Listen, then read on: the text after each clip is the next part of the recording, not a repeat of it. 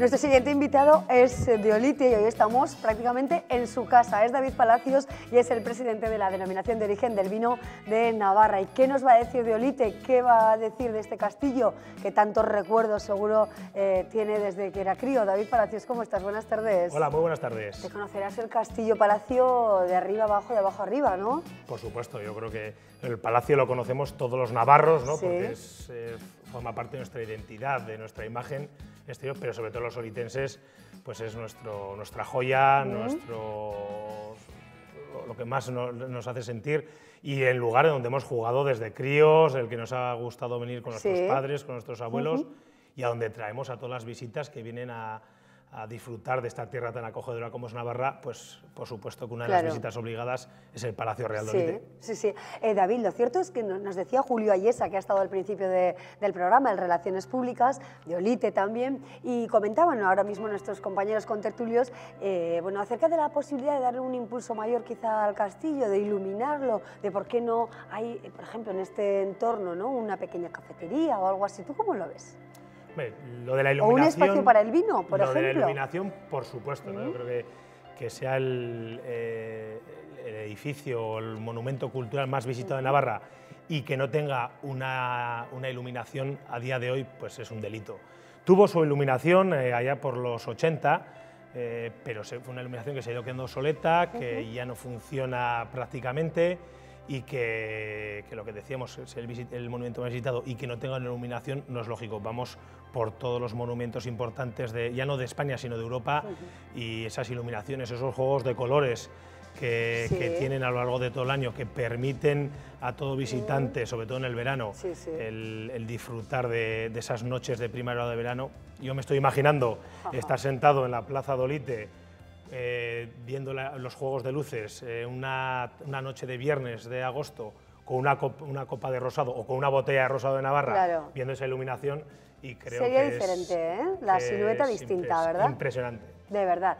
Bueno, ¿cómo está la situación de- del vino? Quiero que hablemos un poco de cómo ha evolucionado, pero también me gustaría saber qué tal os ha ido ¿no? a la denominación de origen del vino de Navarra en, eh, en Barcelona. Habéis estado en la Feria Internacional Alimentaria, con gran presencia navarra. ¿Con qué balance habéis vuelto, David? Muy positiva, la verdad que es una feria que ha funcionado muy bien, con gran afluencia de público. Las bodegas de Navarra, que tradicionalmente tienen presencia ya y otras que suman todos los años, han trabajado muy bien, muy contentos.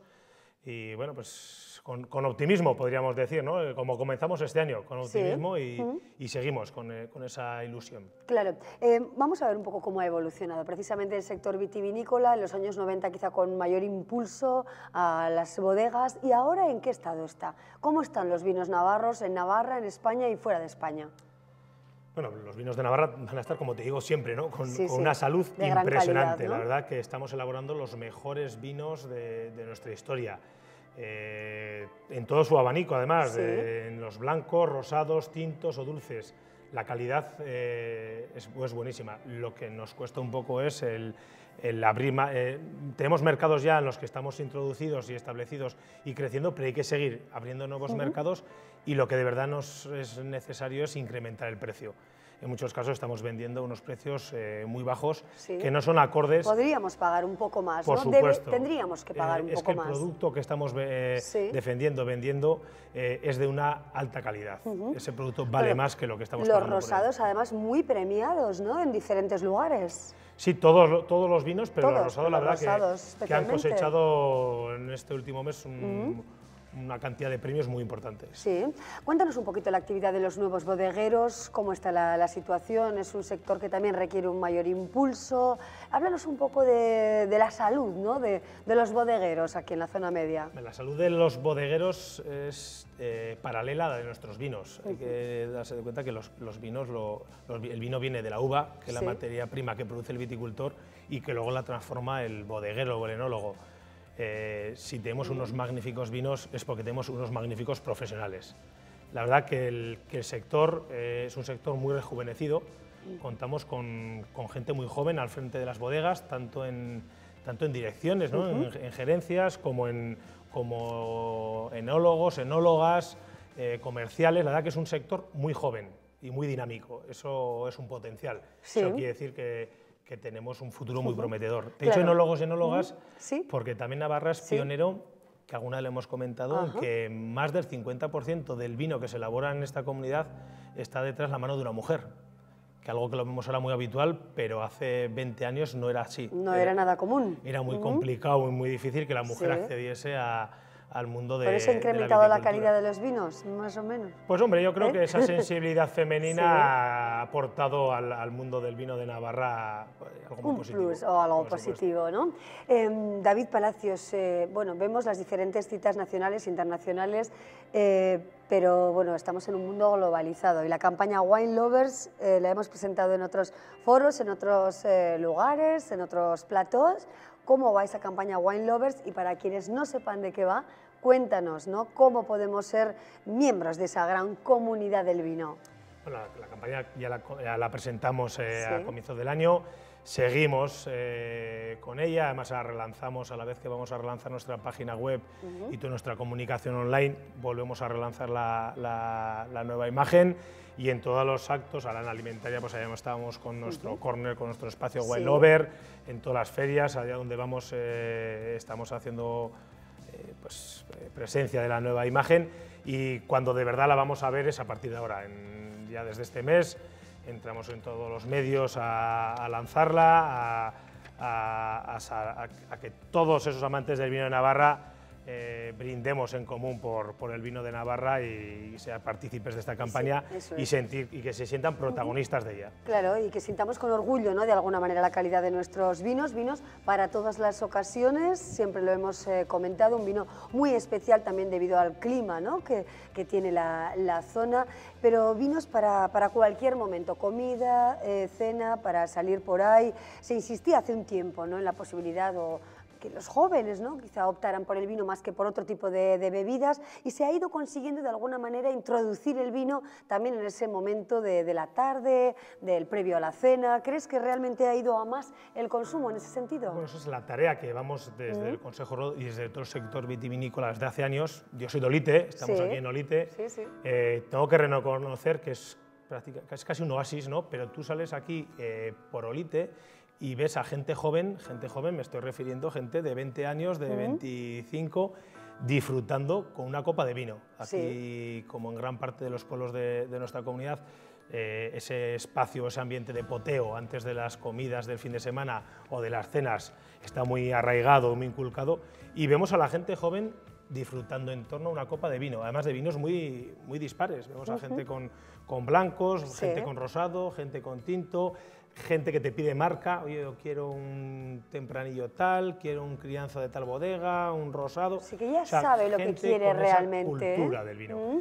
Eh, eso se ha hecho en Olite. Claro, Olite, como decimos, estamos en el palacio. Aquí este palacio rezuma vino, ¿no? Por, las piedras. Nos imaginamos las historias, ¿no? Que, que se han entrelazado aquí entre estos muros, ¿verdad? En Olite está la sede del Consejo Regulador, está la sede de la Cofradía del Vino, tenemos la cooperativa más antigua de Navarra y segunda cooperativa más antigua de España, aparte de otras dos más, tres bodegas particulares, o sea, es una de las localidades con mayor peso específico y con mayor importancia en el mundo vitivinícola de Navarra.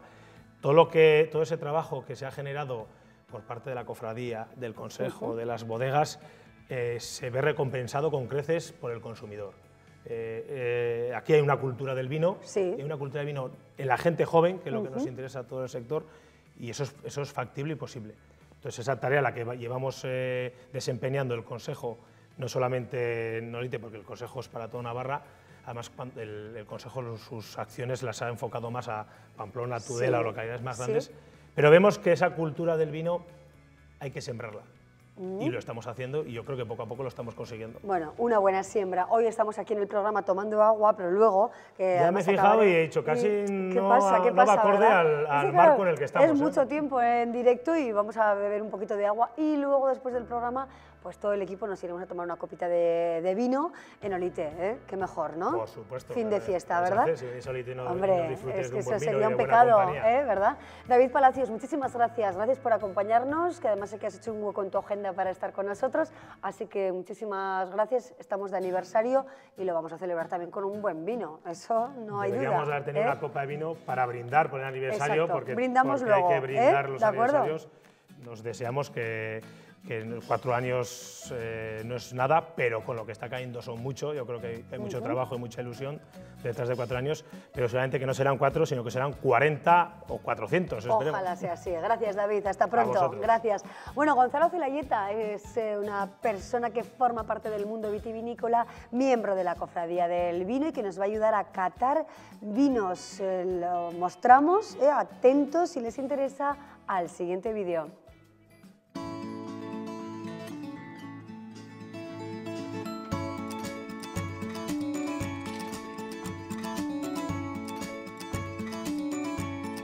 Hola, ¿qué tal? Soy Gonzalo Celayeta, eh, soy cofrade de la Cofradía del Vino de Navarra y además, bueno, soy enólogo de Bodega San Martín y, bueno, pequeño productor también de, vinos. La cofradía, básicamente, eh, bueno, aparte de ser un grupo, bueno, un grupo de amigos realmente, ¿no? En el que, que disfrutamos mucho en torno al vino, su principal función podríamos decir que es promocionar o divulgar todo lo que es el vino de Navarra, ¿Por qué no también decirlo? Pues eh, pasar un buen rato en torno al vino y bueno, pues eh, a raíz un poco con esas bases de lo que es la promoción y, la divulgación del vino, pues mm, pasarlo bien a base de catas, viajes y bueno, una serie de actividades que se realizan a lo largo de, todo el año.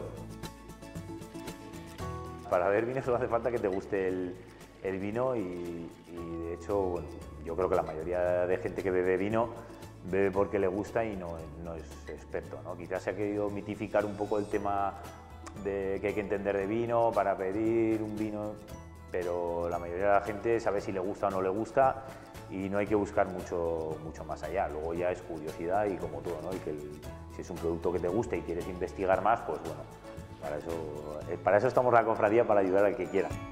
Vamos a catar un rosado, como, bueno, como viene un poco significativo de Navarra, sí que es verdad que bueno, lo digo por la botella, no es un rosado al uso, es un rosado que, está fermentado y criado en barrica, de ahí un poco el color de la, botella.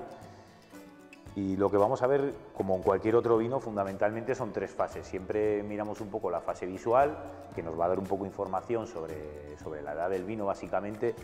Y luego es importante porque, bueno, mm, todos los productos entran por la vista. Entonces, cuanto más agradable o más atractivo sea un color, que ocurre mucho con los rosados de, Navarra, no es un producto muy atractivo a nivel de color, pues yo creo que, que más se predispone uno a, la hora de consumir.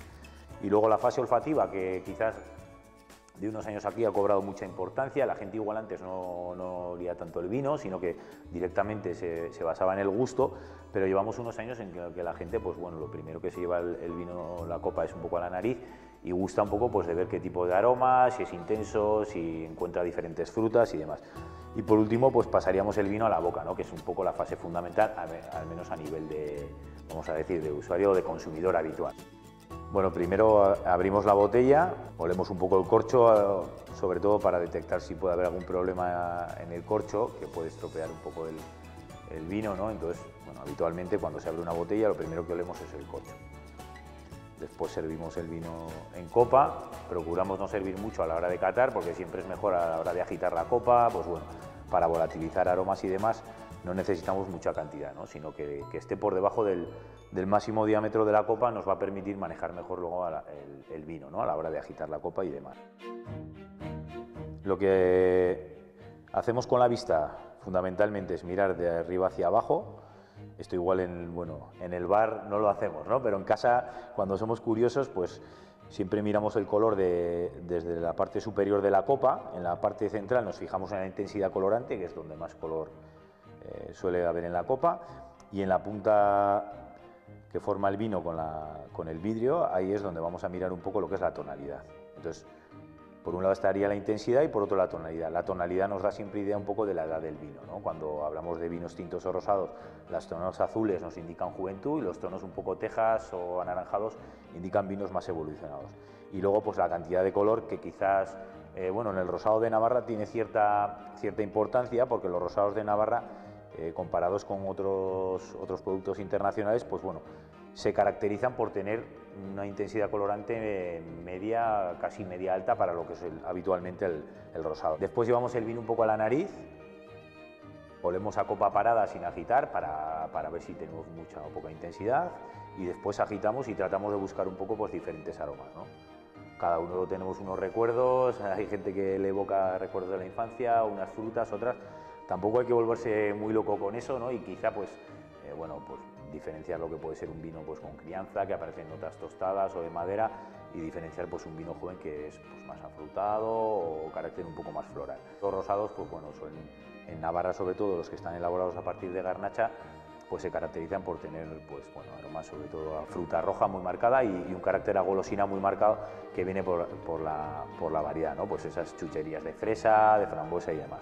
Y después pasaríamos el vino en boca y se trata un poco de, de degustar, es beber el vino y en boca pues eh, casi degustar, pues es un vino amable, redondo, como suele ser la mayoría de, de los vinos de Navarra, sí que es verdad que Navarra se caracteriza también por ser vinos bastante estructurados, con cuerpos, una zona, bueno, por, tanto por las variedades como por la climatología, tenemos vinos con, con un cuerpo, yo diría, medio, medio alto.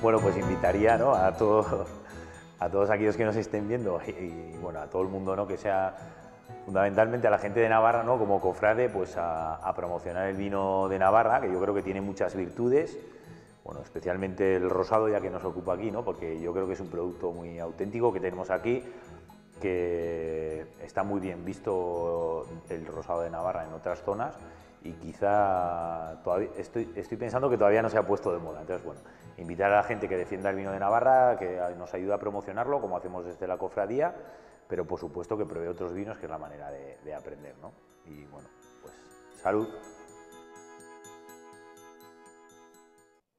Bueno, y no podríamos marcharnos de la zona media de Olite, donde estamos, sin una buena jota. Por eso hoy hemos invitado a Iñaki Muruayes, él es el presidente o el director, podríamos decirlo, ¿verdad?, de la Escuela de Jotas de Pitillas y de Huarte. Iñaki, sí. es verdad que, bueno, pues sin una jota no hay zona media, ¿no? Por supuesto, la jota es el canto por excelencia en Navarra y, bueno, en esta zona pues gusta mucho, la verdad es que no podía ser menos. ¿Y hay buena cantera ahora mismo? Sí, sí, sí, por supuesto. Tenemos escuelas por toda esta zona bastante, bastante potentes.